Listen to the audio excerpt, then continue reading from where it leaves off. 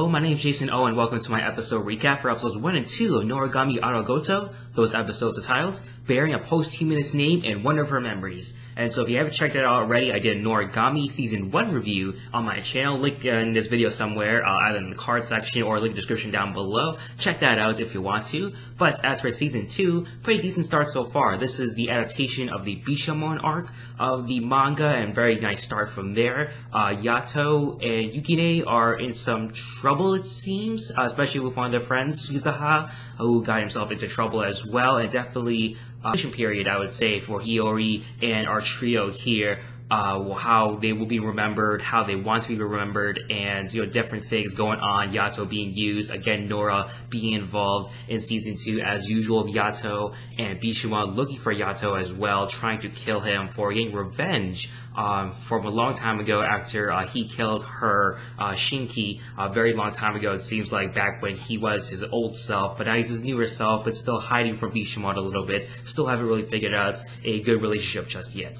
Right into episode 1, bearing a posthumous name, we start off exactly with that. Bishamon was having a nightmare about the time Yato did kill her Shinki, and she's been under a lot of stress lately. We see her, you know, waking up from bed, uh, distraught, uh, very stressed out from many different things, you know, having a bunch of Shinki around. It's very nice, you know, she's doing a very nice thing for the lost souls, finding them a home. However, it's really putting on a lot of stress on her, having her possibly have blights, maybe. That was a big thing in the second episode but definitely a lot of Shinki is good for badass terror sense. You know, the action sequences in the Bishamon uh, fight battle that she had was very cool, but it does put a lot of stress on the um, god themselves, and so a lot of stress that Bishamon's been um, a lot lately. However, our trio, Yato, Yukine, and Hiyori, take on a phantom that's been causing trouble on a baby and his mother, caused by the baby playing his reflection, and we do see a mask that we see Nora have uh, left at the scene, so definitely something implanted by her, and you know, she's you know pulling all the strings, trying to get things done her way,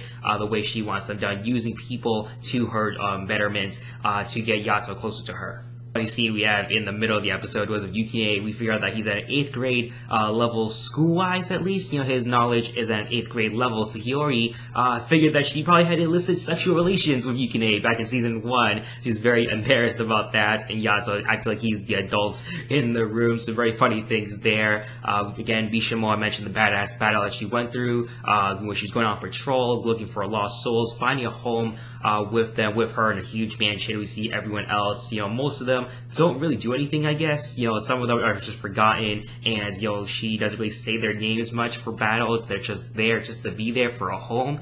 Uh, most, like, just little kids, especially, is very uh, troubling if you look deeper into that, you know, what kind of trouble these kids got into to get themselves killed, and, you know, a short life that they lived, and now they get to live a new life a new place, but maybe not so ideal for some, uh, like Suzuha, who does meet Yukine, a new friend for Yukine, uh, who does find who does find out that he's a Shinki for Bishamon.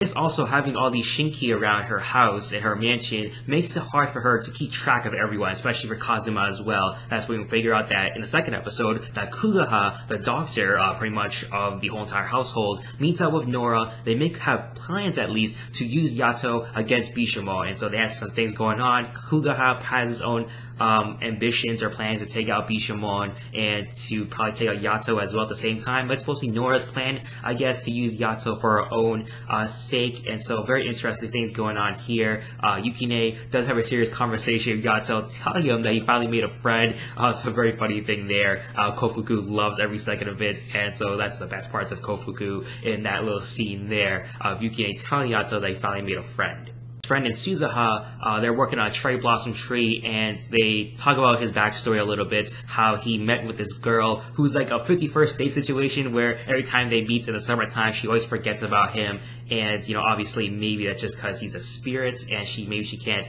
uh, fully remember him at times. He doesn't really care about that. I think secretly he does, obviously, uh, and he just wants her to remember at least the cherry blossom tree. This has been going on for over 30 years. She has not returned uh, for a very long time, and so he's still has that hope that she will someday return. However, Kugaha does come in, uh, sort of in betting that sort of fear and doubt onto uh, telling him that know she'll probably never come back. She's already dead. She, you know, she will remember you and stuff like that. There and losing his hope, Suzuha just is uh, frozen pretty much, leaving uh, all these dogs and these demons or whatever to kill Suzuha, and that's one big mystery we'll have there. Even Bishamon, she felt the effects of it. She didn't really know why at first, but then she realized that Suzuha is the one missing from the mansion. You know, she uh, doesn't really know him at first, and that's what Suzuha was sort of talking about uh, when he was talking with Yukine, how he missed that Bishamon didn't really call his name that much. You know, she has so many uh, Shinki in the mansion, however, she only calls upon a few of them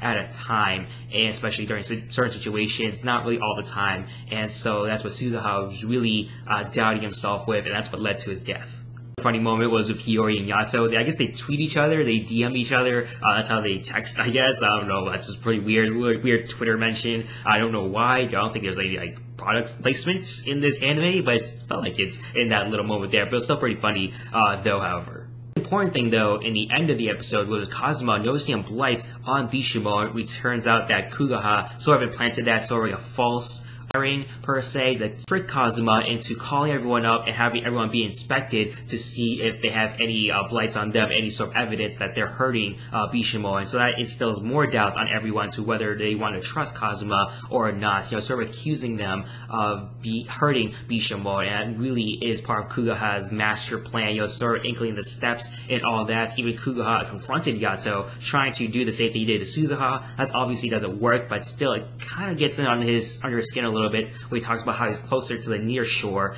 and that he might disappear from this world. And Yato was denying that as long as someone remembers him and you know he thinks of Hiyori about that you know he had a conversation with Yukine before about whether Hiyori would someday forget about them like the girl forgot about Suzuha. Would that ever happen as Hiyori grows goes older? You know they would stay the same age but would they still remember her? You know is she just are they just imaginary friends to Hiyori when she is older? And so that's very much a fear into Yukine and Yato it's another reason why Yato wants to have a shrine for people to remember him so that he won't disappear disappear, we won't get closer to the near shore. And so lots of things to come for season two, lots more darker themes we're seeing here, especially from Kugaha, instilling the doubts and fear onto our characters, Bishamon, you know, for a dark past, and sort of trying to get over that, but still really can't. Yato, of course, he has a dark past as well. That's going to come up later on, I'm assuming, especially Nora around, and so lots of cool things to do in here, season two for rating, giving both of these episodes an 8 out of 10. Really enjoy these episodes. Uh, the comedic moments uh, were kind of hit and miss a little bit. You know, just weird moments, especially with uh, Hiyori and Yato tweeting each other. Uh, it's cute, but still, it's kind of weird at the same time there. And, you know, darker is not always better, but for this series, I think it is getting better, at least the darker moments that the series is going through. And so, very curious on that. There's this um, other, like, pink purple haired girl around Bishamon's mansion. You know, I'm curious what she has